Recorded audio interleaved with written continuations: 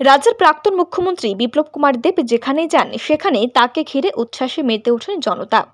যুব সমাজ থেকে শুরু করে প্রবীণ নাগরিক সকলের মধ্যেই প্রাক্তন মুখ্যমন্ত্রীকে নিয়ে দেখা যায় একই আবেগ। এই চিত্র বহুবার দেখেছেন রাজ্যবাসী। দিন যত গড়িয়ে যাচ্ছে, বিপ্লব কুমার দেবকে নিয়ে আবেগ, উচ্ছ্বাসে কোনো বিরাম নেই মানুষের। যদিও তার যথেষ্ট কারণও রয়েছে।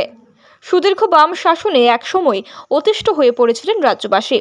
দুর্নীতি, রাজনৈতিক সন্ত্রাসে দমবন্ধ অবস্থায় মুখ বুঝে সব অত্যাচার সহ্য করেছিলেন তারা।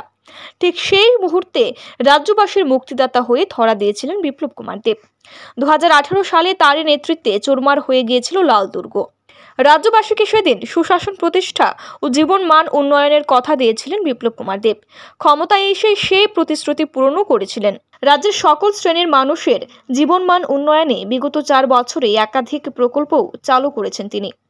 যার সুদূর প্রসারী ফলও আজও ভোগ করছে রাজ্যের অগণিত মানুষ। সম্প্রতি মুখ্যমন্ত্রী পদ থেকে সরে এসেছেন বিপ্লব কুমার দেব। কিন্তু কথায় নয়, কাজের মাধ্যমে তিনি রাজ্যবাসীর মনে অটুট জায়গা করে নিয়েছেন। এ কারণেই যেখানে তার পদার্পণ, সেখানটাই হয়ে ওঠে বিপ্লবময়।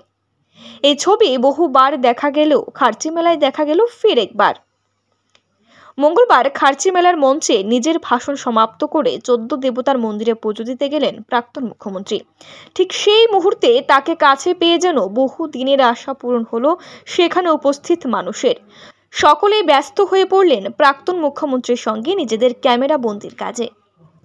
সম্প্রতি হায়দ্রাবাদ যাওয়ার পথেও রাজ্যের একদল তরুণ তরুণীর মধ্যে বিপ্লব কুমার দেবকে নিয়ে একই ছবি দেখেছে গোটা দেশ।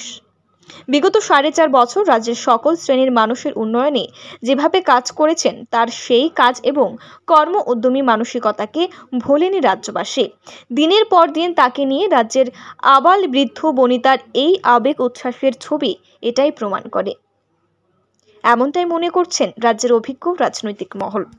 Bureau report রাইজিস্ট news